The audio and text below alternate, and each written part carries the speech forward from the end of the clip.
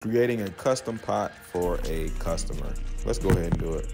So we asked for this peach cream color. So as you can see, we're gonna go ahead and get the airbrushed on there.